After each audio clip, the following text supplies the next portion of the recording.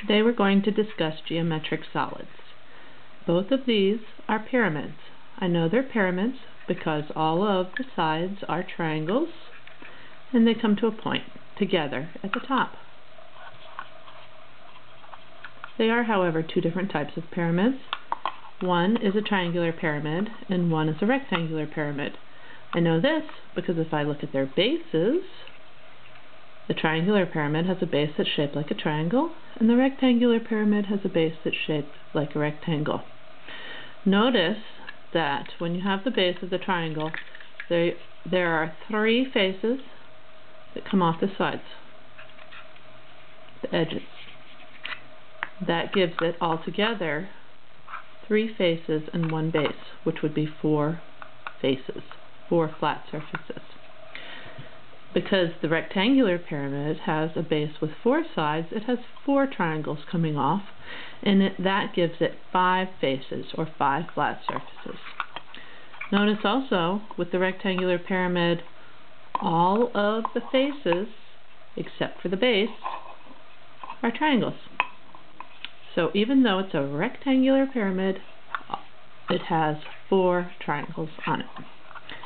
Now, if we take our triangular pyramid, we can now compare it to a triangular prism. And here's what makes pyramids and prisms different. A pyramid has one base. There it is. A prism has two bases. Two congruent bases. Congruent means the same size and the same shape.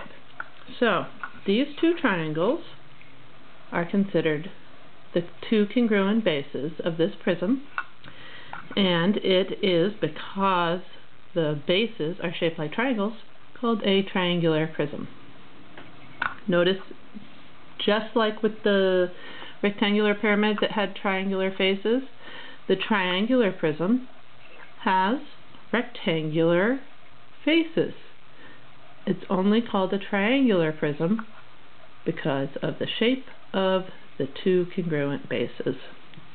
Triangular prism differs from a rectangular prism because the bases on a rectangular prism are two congruent rectangles. Now, each time I've referred to one of these rectangles, you've looked at it and you've said, oh, that's a square. And that is true. And each one of these that is a square, however, because the definition of a rectangle tells us that a rectangle has to have four 90 degree angles and two sets of parallel lines. I can also call this square rectangle. And that's what people do just in case a square, um, a rectangle looks like a square but isn't quite a square. So they're not making a mistake by calling it a rectangular prism or a rectangular pyramid.